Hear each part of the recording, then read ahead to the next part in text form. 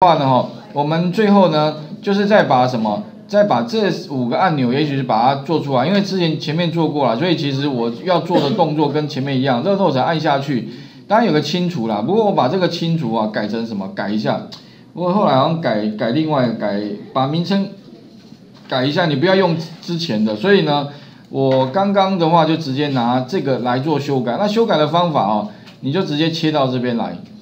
然后呢，我就直接修改一个呃名称叫大乐透清除好了。那清除的话特别注意哦，哎只有三个栏位，所以嗯跟这样应该啊对，这这个 B C 那前七名我想也顺便清了，反正这个哦，所以这这三个栏位都帮我清空。那怎么样把公式丢回来？其实一样嘛，把这个公式复制有没有贴过去就好了，取消，然后这边的话就贴啊，贴的话呢。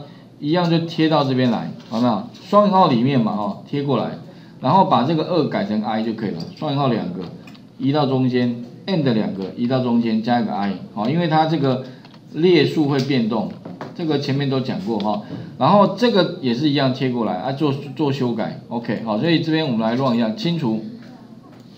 那这边的话，把公式丢回来，OK，没问题，哈。所以这两个实际上就是之前做过的，只是说把它做修改。嗯，格式化我想我也讲过了，所以这个格式化请各位自己改。那范围特别注意，因为它二到四十三，可是问题我们现在的范围好像已经到四十九，等于多一号，应该是是二到五十才对，所以这边应该范围到二到五十。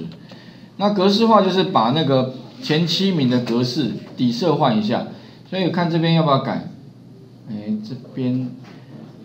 OK，不，基本上这边就改小于等于七。如果把这个，那哎，这边对，这个应该不是一栏，应该是 C 栏啊。这个改改成 C，这边也要把它改成 C。如果 C 栏里面的资料呢小于等于七的话，把它格式化。哎，有没有？所以应该是第二号、八号、十一号小于等于七的话，哦，OK，哎，所以这几号？底下啊，刚刚这个还没往下拉，把它往下拉，这个少，好往下拉，OK 好。那范围的话呢，应该就不是四，这个这个可能公式这边就不是四十三的，应该多少？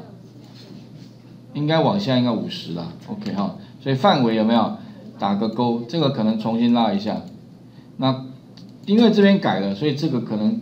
刚刚的这个公式也把它改一下，这个五十才对，因为我们号码哦不是到四十二，应该到四十九，所以加一刚好五十。好，然后格式化清除的话啊，清除的话也是一样，把里面的颜色变成没有，清掉，OK。